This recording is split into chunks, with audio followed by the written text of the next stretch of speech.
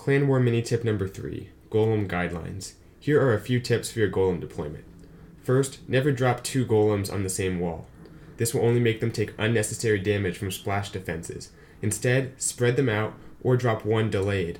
This will allow the wizard tower and the mortars not to be able to target both at the same time. Also, if you want your golems to reroute back inside the base after you drop a jump spell or some wall breakers, make sure you leave a few defenses up for them to target. Don't drop your queen or your wizards too early, because this will make the golems have nothing to target inside the base, and they'll get stuck on a wall. Finally, you can use a golem as a test wall breaker as well.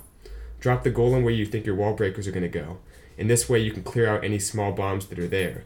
Make sure there's no splash damage in the area though, and drop your wall breakers right behind the golem. This allows you to save one wall breaker space. This has been a Clan War mini tip presented by Bisectatron.